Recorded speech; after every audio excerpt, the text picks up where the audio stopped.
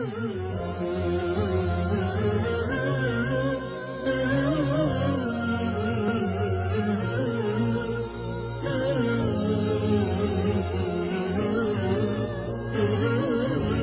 قال إبراهيم رب أرني كيف تحيي الموتى.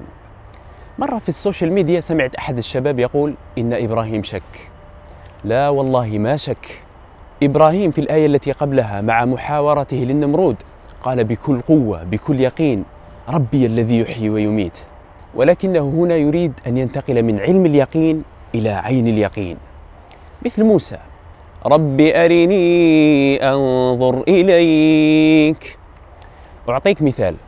الآن عندنا بناية أنت تراها. سألت المهندس كيف تم بناء هذه البناية؟ هل أنت شككت بوجودها؟